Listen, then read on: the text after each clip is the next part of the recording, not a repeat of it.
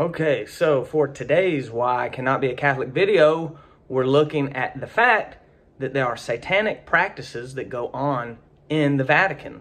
Malachi Martin is a Roman Catholic author, so I'm not uh, not going to Protestants or you know non-Catholics. A lot of Catholics say, "Oh, why don't you go to Catholic sources?" Okay, Malachi Martin is a Catholic source. He was a Jesuit, I believe, and then he left the Jesuit order but stayed in the Catholic Church. And he wrote some books about it. He wrote a book on the Jesuits. I have that book. It's very interesting. It talks about the Jesuits um, fighting against Pope John Paul II. Uh, he would be doing mass, you know, the, the transubstantiation stuff they believe in.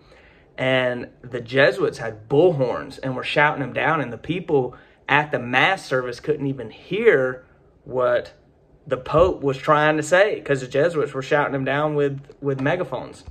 Um, but anyway, Malachi Martin, that author, he kind of made it official. A lot of people knew there were satanic practices connected with Catholicism. They've known that for years, uh, for centuries. They've known that, but he actually came out and uh, and proved it basically with his own testimony that yes, there are satanic worship practices happening venerating Lucifer. And if you uh, know about Pope Liberius, I have a Know Your Popes video on him. He is the one that made the Luciferians an official group, I guess. You know, you have Jesuits, you have Benedictines, you have, you know, all these different groups, uh, types of Catholics, and the Luciferians are a group in the Catholic Church. And over a thousand years ago, Pope Liberius made that happen and uh, it can't be undone for some reason. I can't remember some kind of papal bull or or what it was, but basically the Luciferians are a permanent part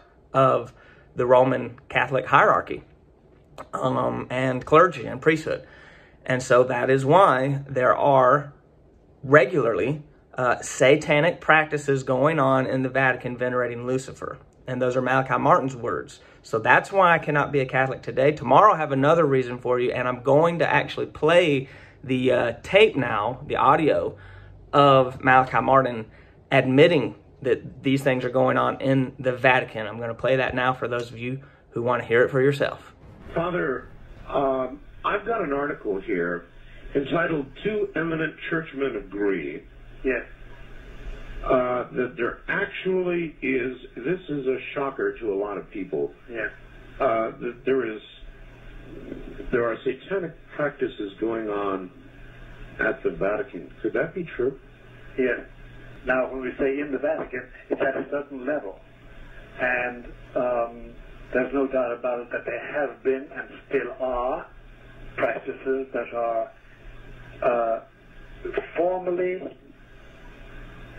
uh, venerating Lucifer, the prince of this world.